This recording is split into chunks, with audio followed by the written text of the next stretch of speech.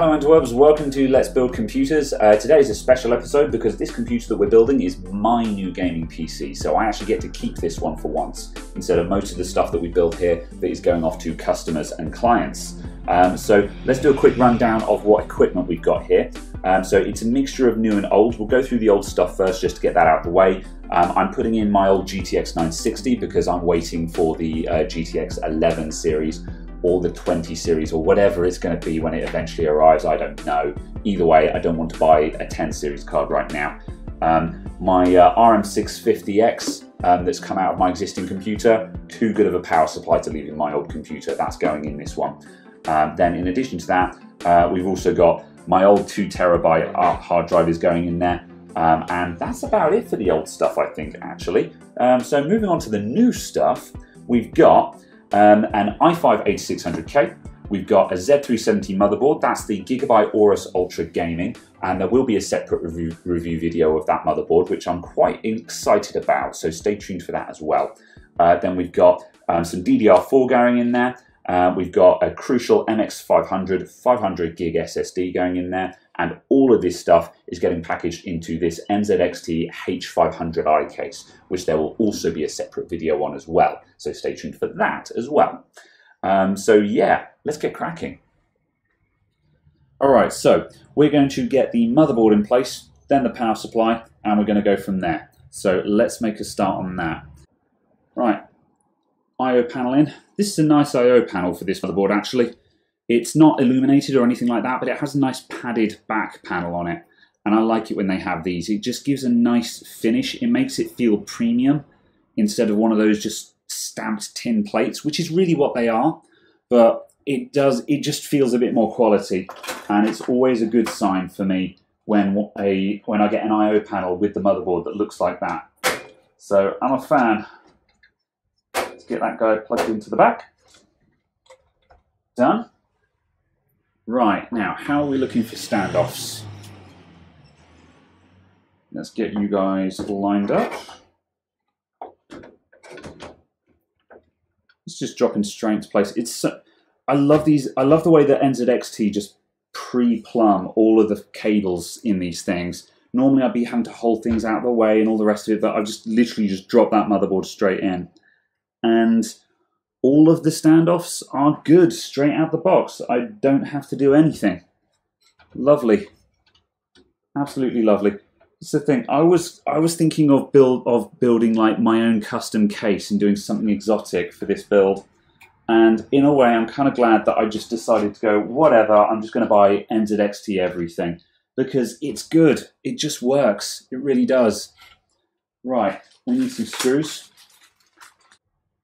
These screws are a bit naff. They've got very narrow heads on these screws. Let me show you a close-up of this and just show you why I'm actually not going to use these screws. I'm going to dig out some different ones. So this is what I refer to as a hex-headed screw. That's a sort of a stereotypical hex head Phillips screw with uh, that's an imperial thread on it, so the 632 thread. So this is also the imperial threaded screw. But see how small the head is by comparison? And it looks very neat and tidy. However, after putting that into the motherboard, and these are the ones that the cases come with as well, I might add. As you can see, it doesn't really fit the hole very well. I don't like that at all. Whereas, you know, the hex head would be right onto all of those grounding points. So I'm actually going to take that screw out and I'm going to get my own set out. The case has not come with any decent hex head ones. It's come with four for the power supply, that's it. So we're actually going to ditch those, and I'm going to use my own screws, I think.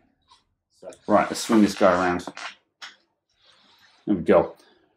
Right, so let's have a quick look through these cables. Mm. Got to check what's staying in the back here. Ugh, right, okay, so uh, fan controller stuff power to the smart controller, USB 3.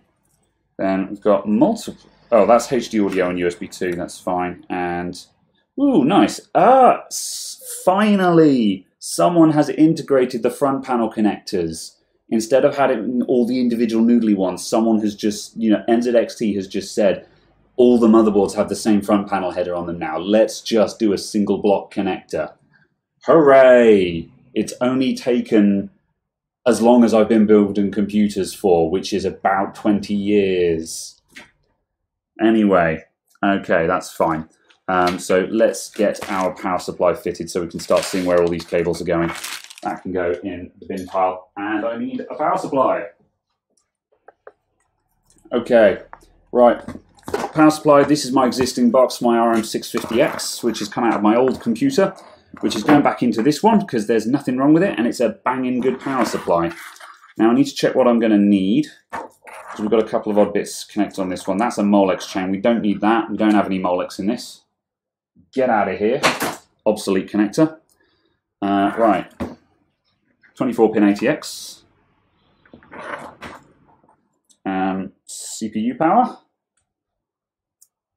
GPU power, good, that's a single chain, that's fine. And a single SATA connect connector, which unfortunately, oh yeah, we do need that. That's going to power my hard drive and the case stuff. So that's all fine. Right, right, in it goes.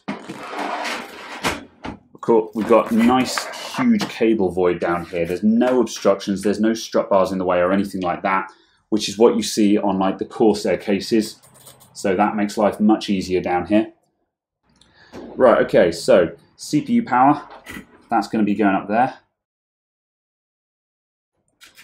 And then we've got this lovely cable channel down the side of the case here that I can zip tie that all into and that will just be perfectly out of sight. It'll look great. Cool, so that's fine. Okay, so let's get the power supply screwed into, pla into place. Just loose fitting all the screws, so now I can just give it a bit of a wiggle, as we say on this channel, and make sure everything's seated properly.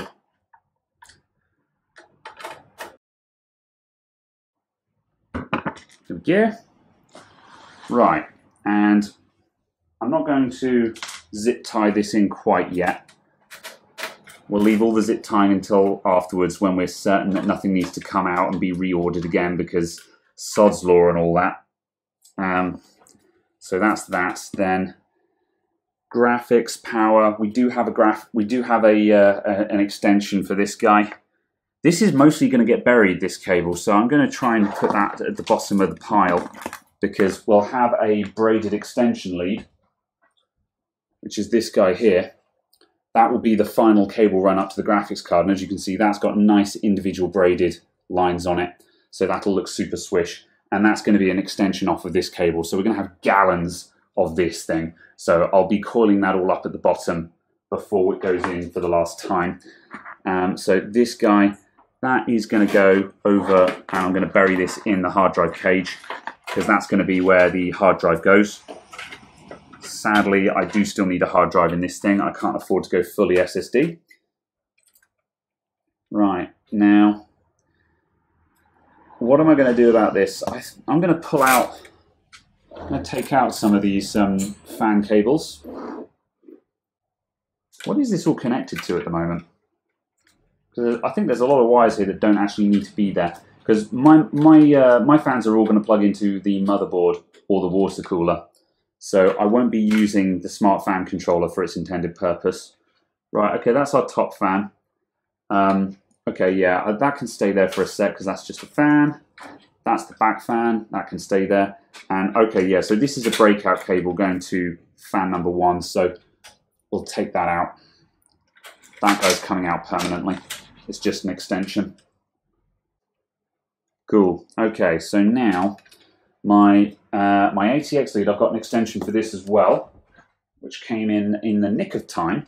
Now the problem is, the problem with the braided uh, extension on my ATX lead is it's going to mess up this cable channel, which is what happened when I last built in a, uh, um, a H200i, which is the baby version of this case. So I'm just going to plug that in the other side. Right, let's just loose fit that. So that's going to come out there. And then that wants to go into this channel now. But these channels are great when you have one of these for this big thick loom. However, for braided cables, it just doesn't work. If you're using individually braided cables, this channel just does not work. And that makes me sad. I had to take this out the last time I saw one, and I want to use it. What should happen is that, in, in, in short, that's how it should be. And as you can see, that works just fine. However, the braided extensions don't work. They look brilliant on the last couple of inches, but they're a nightmare to tidy, these things. However, I take the trade-off because they look spectacular on that last two inches where they connect to the motherboard. Whoops, that's a drop screw. We'll find him later on. But the nice thing about these NZXT cases is they come with all of these gadgets, but you can remove all of the bits that you're not using. I'm surprised at how many pieces this thing is in. I wonder. I wonder, I wonder, I wonder. Could I just leave in part of it? If I just left in the mid part, so I had just a single point there, a hold down point there, that might work. We'll take the bottom out, or yeah, we'll take the bottom out and then we'll put the centerpiece back in. I think that might have been done deliberately, and if so, that's actually really cool because you can take out the bits that don't fit your cable mount system and put in the bits that do. And you can kind of just like cobble something together. And I'm a big fan of cobbling bits together like that. So let's grab that. Ah, screws, screws everywhere. Put that in there. We'll just put in one screw for now just to check if that's working. How's that look on the other side? That's visually perfect on the other side. If I can just feed that in a bit better. Will the side panel close on it? I think it can be trained to. I could do with this being higher up. I think that's fine though. Oh. Coil you up and get you connected. So now that can just go straight into the bottom. Yeah. Like that. So that's nice and neat. And that, it needs a cable tie there. There's just nothing to hold back against. I'm going to leave that. I'll come back to that. We'll see how much of a problem that is later on. Right, what about these other cables? LED, that's fine. Power, that's going to plug into there. We'll do that last minute. Uh, so front panel, uh, HD audio. Uh, right, USB, where's my USB 3 header? That's up there, so that needs to come up there. Can we get that into there? We could, but I'm not going to. I'm going to actually put that in like that. That'll work nicely. So let's open this up to get a fold in.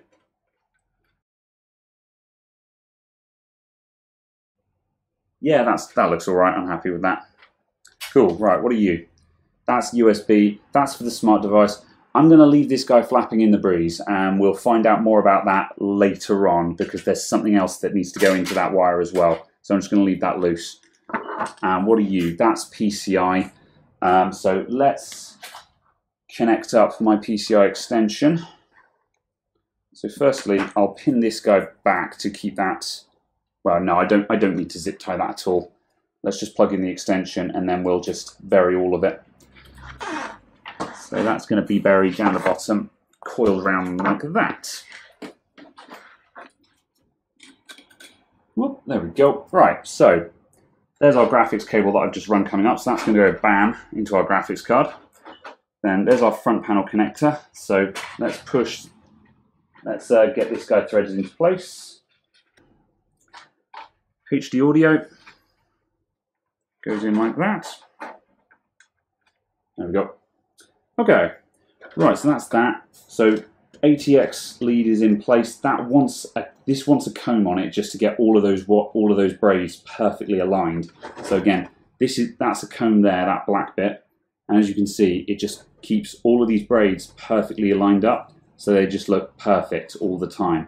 So I need to get another one of these to stick in there, and that'll just keep all of those wires perfectly aligned, and it just looks spot on let's get the CPU power lead in. I don't have a braided extension for this, but it really doesn't notice, so I'm not fussed. Ugh. This is difficult to fit in from here because we've got a fan right in the way. Uh, I think it's time to drop in the CPU, CPU, RAM, and the SSD. And then we'll do a bit more finicking around the back. And then, or actually, you know, we'll do all that. We'll get the water cooling in, and then we'll do all the cables at the back. Because the cables at the back will all need to be rehashed when the water cooling is in. So there's no point in doing them right now. Right, CPU socket, open.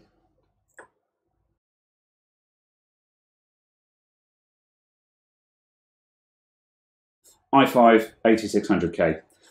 What is that? Three. It's 3.6 standard, but that this guy will boost right up to like 4.1, maybe 4.2 gigahertz. So this will be a pretty swift processor. The i7 was another hundred pounds. The budget wouldn't stretch as much as I would have liked to have put in a uh, 8700K. Just couldn't afford it. Um, and I was like, I'll take the trade-off for this for a slightly lesser CPU in exchange for being able to afford all of the shiny bits and all of the other little extras like a 500 gig SSD and things like that. So in goes our SSD. And likewise, it's a Crucial MX500, not a Samsung Evo, but it's still a decent SSD and it's got the capacity. And what I like about these new Crucials is, unlike some of the other um, cheap brand SSDs, actually looks fairly swish. I think that looks quite nice in there. Whereas, for example, I've got a Western Digital Blue in my uh, shop workstation, which is the one that we're recording on, and um, uh, and the Western Digital Blue literally looks like a Tesco value brand SSD, and it makes me sad. Like I'm I'm going to show you these guys because it annoys me that much. So this is the shop workstation that we're streaming from at the moment, and look at that Western Digital Blue SSD in there being all Tesco value. It's just like, really? It looks it looks kind of naff in there, and I need to do something about it. And it makes me sad. Whereas the Crucial by comparison, you know, that guy looks really that guy looks really cool. Much nicer. In goes the RAM. Kingston HyperX, cheap and does the job as much as I would love some fancy RAM, I want the RAM that all of the show computers have. It's made by a company called uh, Geil or Geil. That's G E I L, and it's got RGB along the top, and it looks fantastic. It's really, really slick RAM, but it's also very difficult to find. And I think the last time I saw it, it's about twice the price of bog standard uh, DDR4. So HyperX RAM tried and tested. I've got I've got HyperX in like all of my computers. It just works. It does the job, and it's slightly cheaper than the Corsair, uh, the Corsair Vengeance LPX, which is the other good budget choice. Cool. Right, that's the RAM. Um, okay, let's start doing some cooling. So we've got to get a bit more serious now. Now the big lumps go in, and then once we've got the water cooling in place, uh, we can start making sure that all the cables around the back are super tidy. Graphics card is going to go in last of everything because that's literally just a drop-in job. So we leave that out to the very last moment. So let's shift everything around again. This one is the dream as well. I've adored this water cooler from afar for a very long time. However, for a very long time, the NZXT Kraken series has been um, it's been about forty pounds, well, thirty or forty pounds more expensive than Cooler Master's equivalent. So, sorry, not Cooler Master, Corsair. So I've always gone with the Corsair H100s because they're just as good performance and they're significantly cheaper. However, uh, the price of these Krakens have come down now, and this thing is. I'm I'm just going to straight up say that is, in my professional opinion, this is the prettiest uh, all-in-one water cooler money can buy. It looks absolutely gorgeous. If you haven't seen one before, you won't understand until you see this thing turn on. And when it turns on, you'll understand. You'll get it. Ugh. And if you want to, you can uh, jump on NZXT's website now and have a quick preview of what it looks like when it's switched on. But trust me, it looks amazing. And it's what I've always wanted. Okay, we've got a couple of fans nice NZXT, uh, what are those, static pressure fans. You can spot, I'll show you a thing. You, there are two types of fans, for those of you who don't know. There's airflow fans and static pressure fans. So this is an airflow fan, this one's static pressure. You can tell the difference because the static pressure fan, as you can see, has fewer but bigger, broader blades on the rotor. And this means that it builds much higher air pressure, which makes it very good at blowing against a, a heatsink or a radiator or something like that. Whereas the airflow fan, this is designed for just raw throughput. It has, uh, it will have a higher cubic feet per minute of throughput, throughput of air, and it has a longer range, so the throw of the fan is longer. However, it's less effective if it's up against a solid surface like a heatsink or a radiator. So you want static pressure fans on your heatsinks and your radiators, and your case fans, you want to be these airflow ones for shifting air through the box. So that's, uh, that's what's going on here, and that's why you'll notice that some fans have got lots of thin blades, and some of them have got fewer fat blades on them. Yeah, I like the water cool. Water cooling is good for two things. A, it looks cool. Uh, and B, with water cooling, you can maintain you can maintain um, water cooling has a very very high heat soak value, so it takes a very long time to warm up the cooling system, and that means that your fans will stay slow and quiet even under load. Whereas air coolers saturate much faster, so you get more noise out of them when they're on load. Um, so However, realistically, there's not a huge amount of difference. I do it mainly for aesthetics, truth be told. In terms of performance, I think air coolers are totally fine. Right, there's our radiator. So we're going to build up. Let me see what we're going to do. We'll carry on unboxing all of this, and then I'll show you what I'm going to do. That can stay in there. We need the mounting system. God, there's so many fittings for these things. Okay, so to mount up our radiator, we need to remove this front bit here. Uh, again, as I've mentioned in the review of this case that will be following this video, the front panel of this case is not removable. So instead, this bit here comes out with a bit of jiggery pokery. And now we're going to mount up our water cooling rad on this, and then we slot the whole shooting match back into the case, which is very unusual, and I'm not sure how much I like it, but I understand why they did it. So Okay, so when I'm fitting water coolers, my normal method is to go uh, case, radiator, then fans.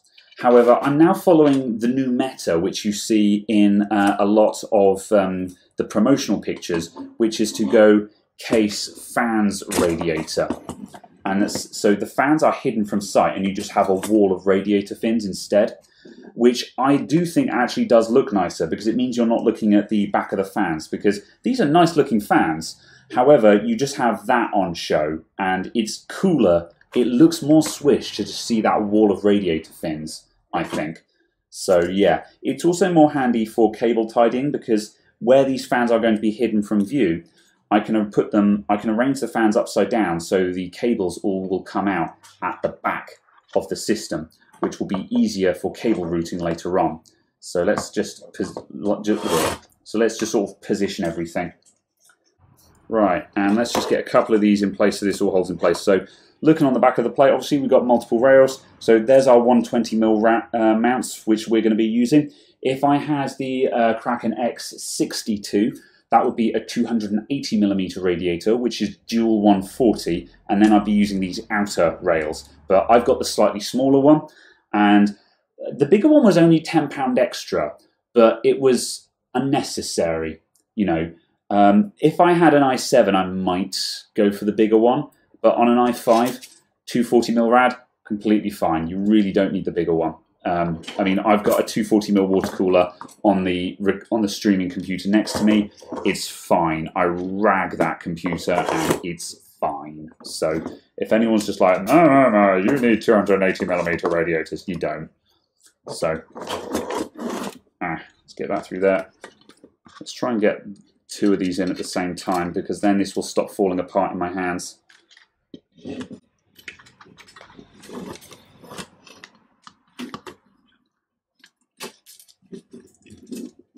Eh.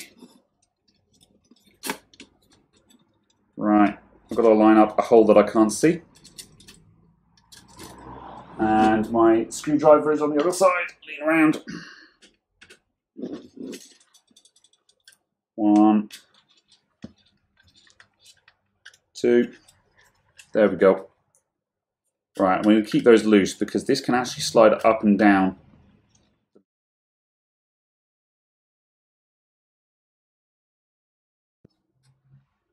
Okay, and we're just going to trial fit this.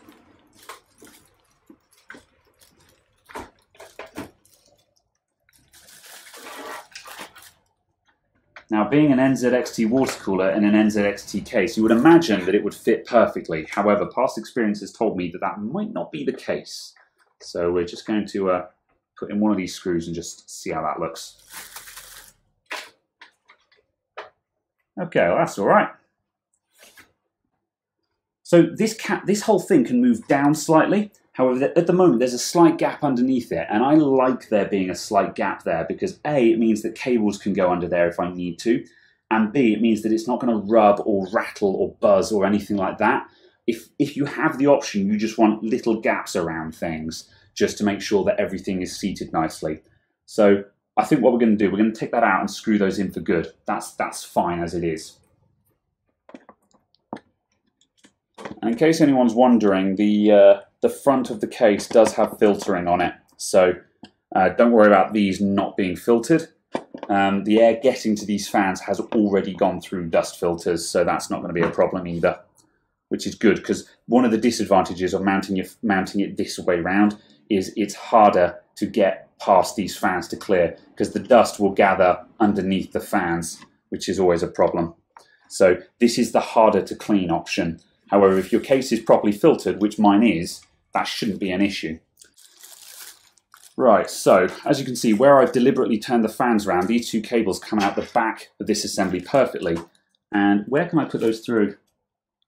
I think I can poke those through there, maybe. Can I do that? Let's find out.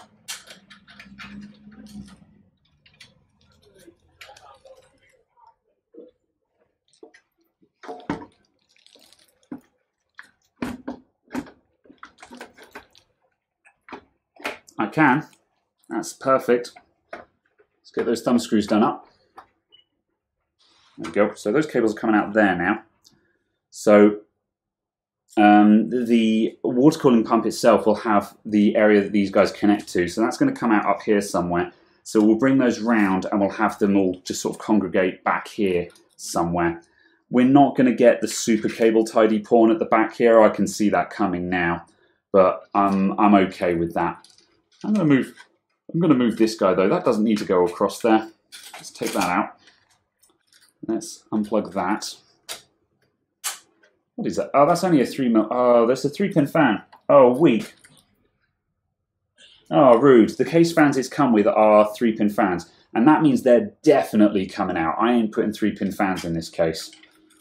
Three pin fans are noisy and I don't want them in my shiny new computer. So we'll leave those disconnected because those will be coming out. Don't need those in my life. The problem with three-pin fans is that you can only voltage control them, which means you can only bring them down to approximately 30 or 40% before they cut out, which means it's almost impossible to get them truly silent. And I am a stickler for noise with computers. I want silence from my machine. Okay, that's fine. Let's start unwrapping all of this. We're going to put it... Uh, oh, uh, we put the back plate on. I can do everything else while it's laying down. So back plate, that's this guy. Let's get that in place. That works though. Let's take this fan out because I think if that fan is out of the way, that's just going to fit. I think that's going to solve all my woes spin it round. Let's get this fan out. Right, that should pull through because it's unplugged. There we go. These are bog standard fans that come with the case. They're okay TM. Good, not great. All right, now the only problem is now is that this dust filter just falls out with no fan holding it in. So I'm going to leave this out. I'm going to figure out a way of just like gluing or some, or, you know, I'll find a way of just holding that in place up there once we're all done. Not going to fuss over that right now, though. Okay, second attempt at the water cooler. So now this guy's out of the way. We've got a lot of extra headroom up here. So that's going to go in.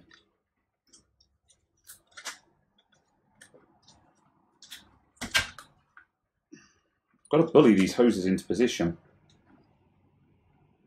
That's a thing. How on earth did I have this oriented just then? Must have been like that.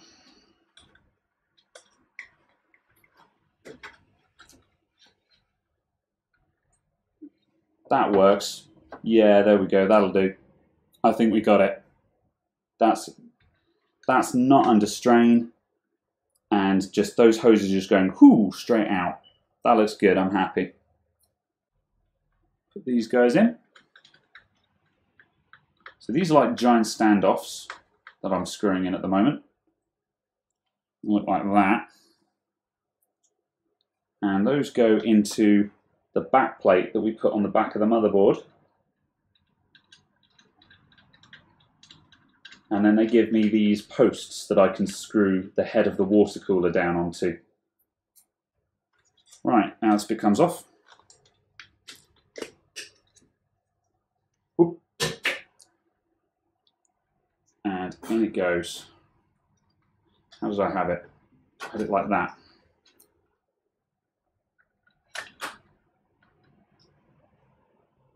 There we go. That's good. I can almost let go of this, and if you can let go of it while you're fitting it, then it's happy. Whereas if you can't let go of it because it's going to go out of the way, then you might not have it in a great angle. For the NZXT ones anyway. The Corsair water coolers have got viciously stiff hose pipes on them. They've got huge, like, what are they, quarter inch? No, half inch hoses, I think. The, the Corsair ones are obnoxiously huge and it's just unnecessary. Now, speaking of annoying though, one of my screws is under all the pipes. Can I get the screwdriver down there? I think I can. Yeah, we're okay. Right, annoying USB cable. We'll get to that in a minute. Right. This is the uh, wiring harness for the fans and power to the pump. Also requires another SATA connector. It can come off now. Can you see what it is? Yeah. Okay, right, where is the connector? It's on the top. So this guy's going to plug into the back of the head. Not sure which way up it goes, so I'm going to try one way. And of course I got it wrong the first time. Let's try it the other way.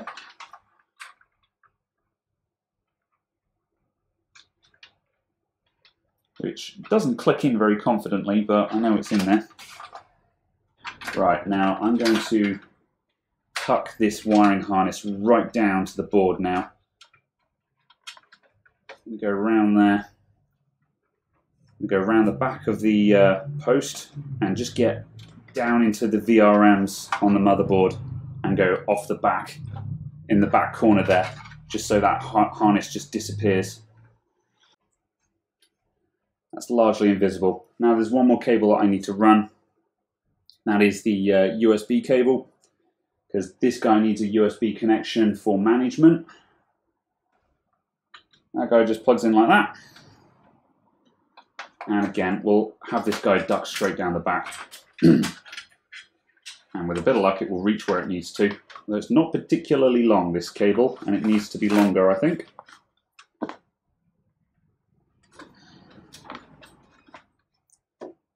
Right, since the graphics card is in, we may as well just plug that in as well. Now we're here. There we go. Power line to the graphics card. That graphics card has a bit of sag on it. There's not much I can do about that at the moment. I will probably figure out I'll probably figure out a strut brace for this graphics card at some point because that tiny sort of centimeter or so of sag is going to annoy me. I will, I know it's there. I will see it's there, and I want it to be like that. So, but I'm going to sort that out in time off camera. Right, okay, we're done on this side. Let's flip it all over and get all the wires around the back done. And then I think we're ready to power this thing up.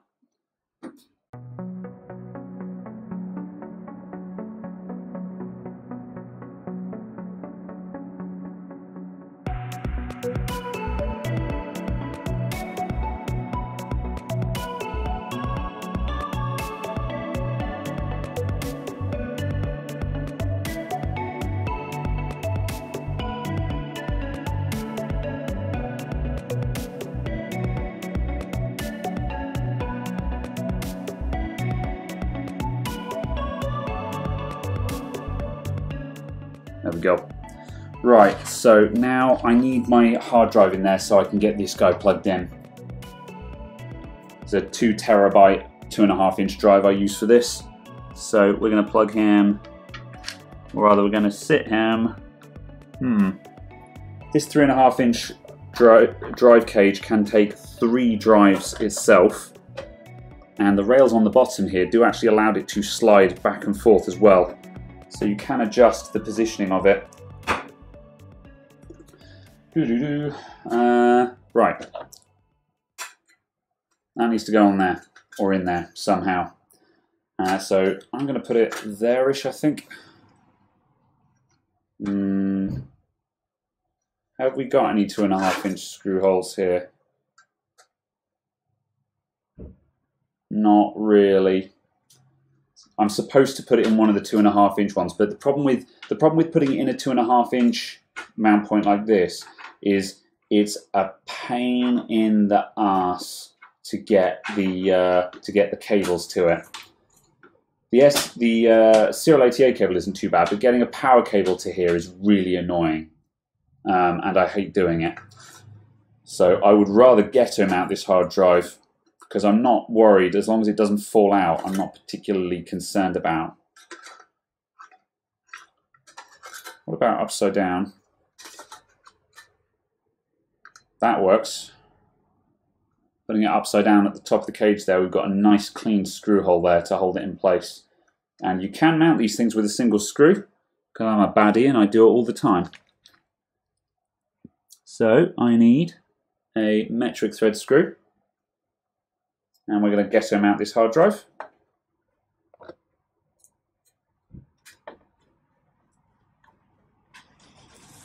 And we'll put that in nice and tightly. There we go. Bam. Dunzo. That's not going anywhere. And because it's mounted right next to the connector, that's nice and firm for when I plug stuff into it.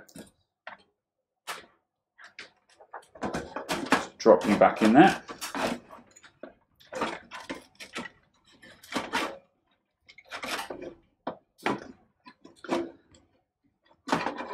And where are the mounts? There they are.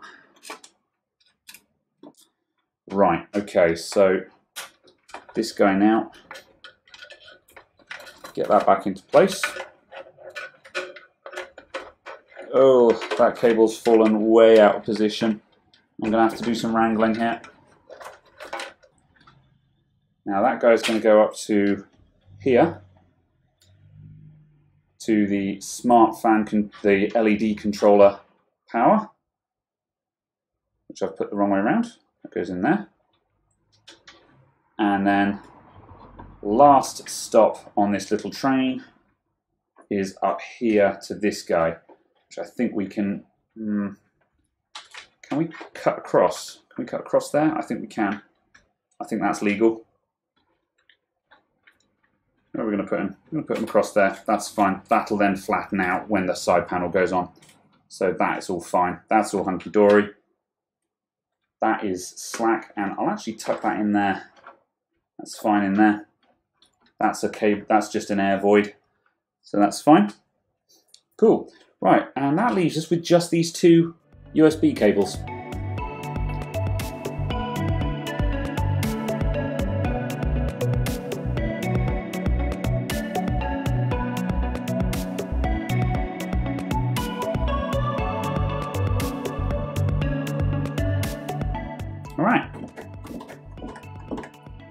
I think we're ready to close up. Have I got any bits left over? Oh yeah, I've got the air fan. I'm going to put the air fan in just for show at the moment. I'm not sure if it's staying in or not. That's this guy here that I showed you guys earlier. This is an RGB fan. However, I don't have the controller for this. However, once I've got this guy all up and running, I'm going to try and see if I can bodge compatibility onto the motherboard with this fan. So we'll find out how that goes. Um, but we'll put it in just for show for the sake of looking complete. And I'll worry about that later on. So let's get that guy around the back. Dunzo. All right, now we flip it over and cable tie everything down.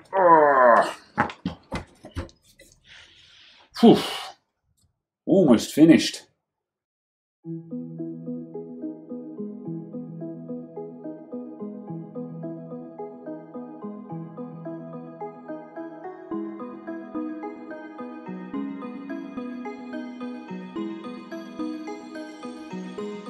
Okay.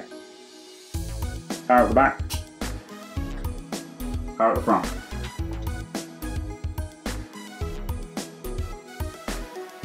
Is it going to post for me?